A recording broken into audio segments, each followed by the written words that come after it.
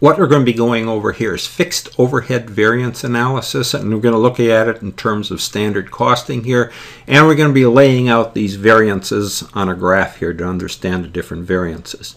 Okay, so when we're talking about variance analysis, we really got three different amounts that we're going to have to deal with, or three different budgeted amounts. And they would be the standard amount, in this case we're using standard costing here, and then we'd have the actual results for the period that we'd be looking at. And then based on our actual results and our standard that's established here for, in this case, our fixed overhead, we're going to determine the flexible amount. Okay, so starting with our standard amount, that's going to be the standard quantity times some standard price here.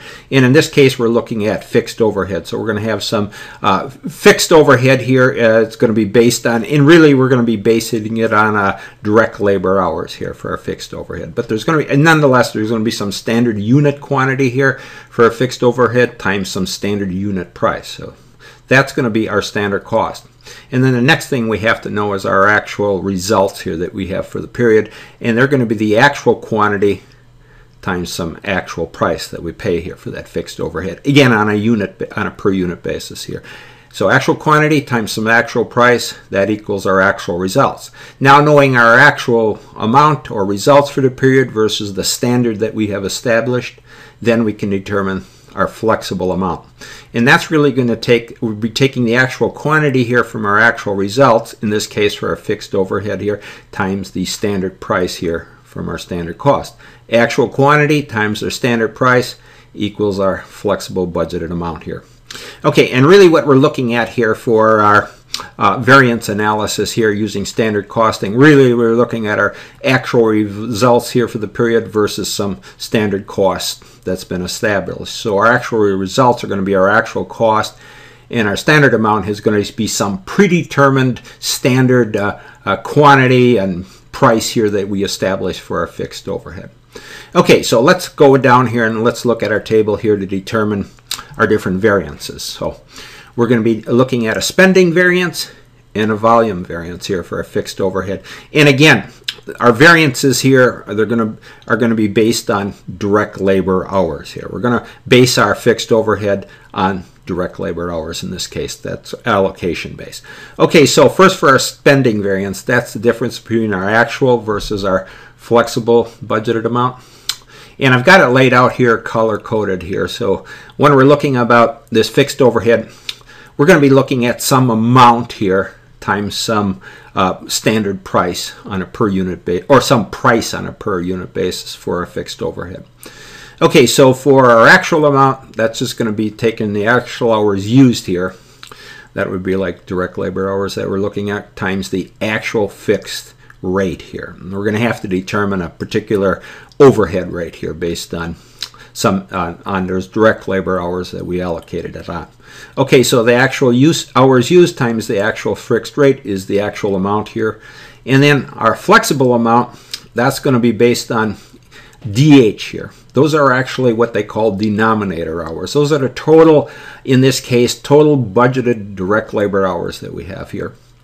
So that's going to, we'll take those total, uh, those denominator hours, those DH here, times the standard fixed overhead rate. So we're getting the standard rate off our standard here. Okay, so that's our flexible amount. And then our standard amount, that's just going to be the standard hours allocated or allowed here times some standard fixed rate. Okay, so for our spending variance, it'll just be, again, the difference between the actual and flexible amount. And uh, I, between those two amounts, we have nothing here that's in common as far as that we can factor out. So we're just be looking at the difference. So the actual amount would be the actual hour use times some actual fixed rate here. And then we would be comparing it to the flexible amount, which is a standard fixed rate, times those total denominator hours, those total budgeted direct labor hours. So that difference gives us our spending variance. And then our volume variance, again, that's the difference between our flexible and our standard amount. And the common factor that these both share here is the standard fixed rate here. So we can factor that out. So our variance is just going to be the difference between our denominator hours as total uh, budgeted direct labor hours versus the standard hours allowed. So denominator hours versus our standard hours allowed, that difference times the standard fixed rate here. Okay, so those are our variances. Now let's go down on our graph here and lay them out on a graph form here. So along our x-axis here on the graph, we're going to have those direct labor hours. Remember, that's the basis here for our fixed uh, rates here, the actual fixed rate and the standard fixed rate. And that along our y-axis here, that's going to be our fixed overhead cost. So we're going to be graphing our, our allocation base here, our direct labor hours versus our cost. And then we have two lines here that we have established. One here is that green upward sloping line, and that's really the standard fixed rate here for our, our fixed overhead times the, in this case, our basis, the direct labor hours. That is our really our variable standard amount here. And then we have the other line here. That is our constant fixed rate. The blue line goes straight across here. Same amount, direct it doesn't change with the direct labor hours, whereas this one here did change with our allocation based, the direct labor hours based on our standard fixed rate. This one is just standard, right? Goes same amount, constant. And that's really that uh, flexible amount. That's a standard fixed rate here times those total denominator hours. Okay, so now let's go down and let's look at what we're doing here. So for our direct labor hours, uh, our basis here, we really have three different points that we're concerned with. It's going to be the standard hours allowed, the actual hours used, and then those total denominator hours here. So what we're going to do here, in each of these cases, we're going to move up to our, vari our, our variable uh, costing line here versus our standard amount here. So let's first look at the standard hours allowed here. Okay, we move up here to our variable amount here, our variable line here, move across to our fixed overhead costing.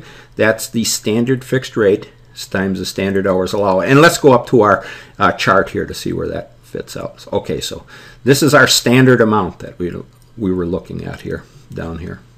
Okay, and then the next point we have to look at is the actual hours used. In this case, it's going to be based on our, it's going to be based on our fixed rate here, that blue line here. That's going to be where we intersect that. And then we're going to move up on that to uh, another point here. We got a point, it's going to be the actual fixed rate versus our standard fixed rate here. It's different from, it's actually different, it's different because of that amount here. We got the standard fixed rate here that we were using here. And up here, the actual hours used that we have uses the actual fixed rate. So that's the difference between the actual fixed rate here, the difference in the standard fixed rate. So we got those two different points to deal with for the actual hours used here. Okay, and then we got one last point here. That's that uh, denominator hours. And that's really where our variable line here and that slope here was is really the, the standard. I got budgeted fixed here, but it should be the standard fixed rate here. That's our slope here. It increases at that rate times the total direct labor hours. So where they our fixed amount here intersects with our uh, denominator hours here, or these our flexible amount here, or that increasing amount here, that we're going to be looking at too here. So that's going to be other point of interest here, or that we use here for our variances. Okay, so let's look at our different variances. First for our total variance, that's simply the difference between the standard fixed rate times the standard hours allowed here. And that was based on the standard hours allowed here. Versus the actual fixed rate times our actual hours used here. That's the total amount. Okay, and you go up to our chart, you can see that's the difference between our actual amount here versus our standard amount here. So that's our total variance that we're looking at the total variance uh, as far as costing here. That was our cost here, difference between our total costing variance here. And then if you go down over here, that was the difference between standard hours allowed and the actual hours used here in terms of these our basis here, our direct labor hours. Okay, so that's our total amount. And then let's look at the next one. That's the fixed overhead rate volume variance. And that's going to be the difference here is going to be uh, the difference between our standard fixed rate times the standard hours allowed versus our standard fixed rate times the denominator hours. Then that's going to be looking at it in those terms here. That's the difference between our our basis here or our standard amount here versus the flexible amount over here. Blue line versus this little red line. And let's just see where those came from. If we go up to our amount here, you can see our flexible amount was at denominator hours times our standard fixed rate. And then the standard amount was standard hours allowed times the standard fixed rate. So that's our volume variance. You can see it over here. That's our volume variance on our graph here. Now for our spending variance, overhead spending variance, that's the difference between our flexible amount, the standard fixed rate denominator hours here, times our actual fixed rate times the actual hours used there. And when we mean spending rate, it's really the difference between the S standard fixed rate here and the actual fixed rate. Those two different prices. You can see here, because they don't fall, they're not, the standard fixed rate tells the denominator hours is on this blue line here in the actual fixed rate versus the actual hours used here. It just moves up. The actual fixed rate is different from our standard fixed rate. And again, it was based on these actual hours used that we were looking at. Okay, so that's our fixed overhead spending variance. And really, we're going to have another quantity to look at here. But the point is, before we move on, we're going to look at a couple other variances here. Before we move on here, let's under, let's understand here uh, these favorable versus unfavorable variances. So if we take what our standard hours allowed, which is our standard costing amount here, anything, if we use less than the standard hours allowed here or allocated, then we have a favorable variance. That is, if we move up to our costing, our costing line here at any point, move it over here, our fixed overhead cost here is going to be less than the standard fixed rate times the standard hours allowed. And then anything on the other side or greater than a standard hours allowed is going to be an unfavorable variance because it's going to, if you move up here, and let's look at it in terms of our actual hours used here, it, it, it both the fixed rate here and our variable amount here, you can see the cost here is greater than the standard fixed rate times the standard hours uh, used here. So that's our favorable, less if we use less than the standard hours allowed, unfavorable if we use greater than the standard hours allowed here. Okay, so let's go and let's let's look at it here. This this other point we this point here that we established where they do intersect here, uh, denominator hours here, that is versus our variable amount here. Just we have to make that point. That's where they're equal here. That's all. I make that point here. And then let's go and let's look at two other variances here. Okay, I didn't go through the calculations on this. I just want to make the point here. We're going to have two different variances we deal with here. I'm using the same graph that we had here before, but we're going to be talking about the idle capacity variance and the planned production volume variance here. So really the idle capacity variance here is really going to be looking at two different points here.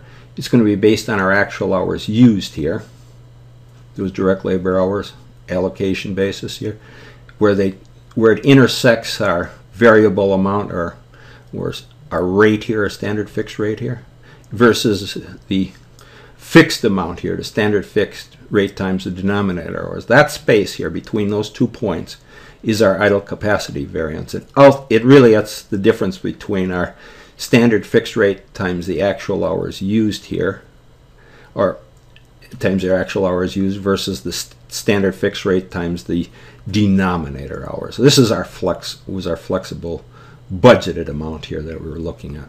Okay, that's just to make a point, that's our idle capacity variance.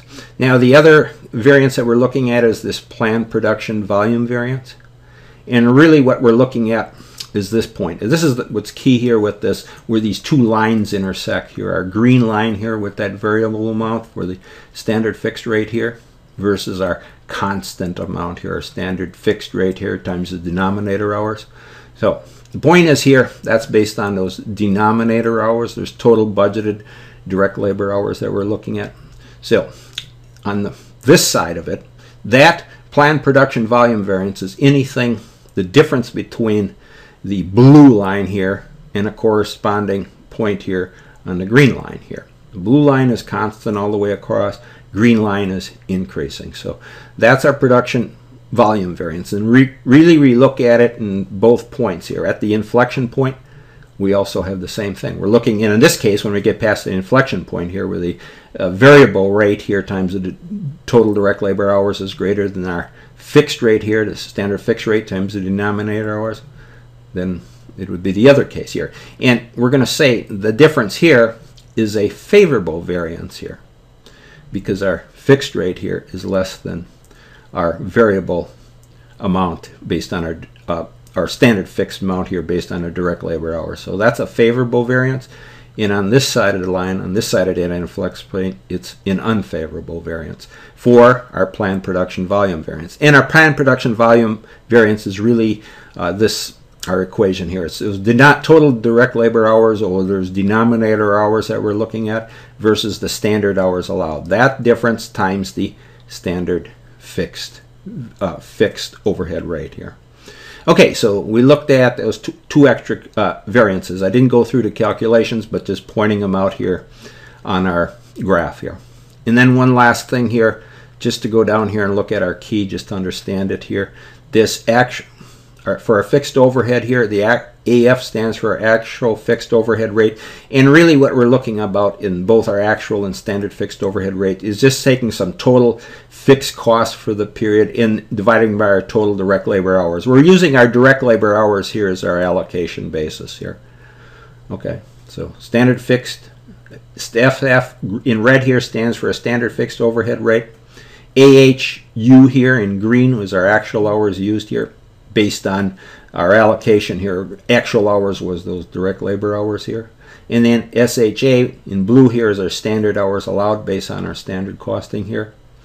And then DH, those are those total budgeted direct labor hours that we're using as our allocation basis here. And they refer to them as the denominator hours because they end up in the denominator here in our equation to calculate our uh, overhead rate here looking at our total fixed overhead rate versus our total denominator hours or direct labor hours. And when we talk total fixed rates here, uh, for our AF, that would be the actual total fixed rate versus SF would be the standard amount that we allocated for a total fixed overhead rate. Okay, so that'll end our discussion here, uh, looking at uh, what is a fixed overhead variance analysis here, and we went through those various in, variances, spending, volume, and then we looked at idle capacity and planned production volume variances.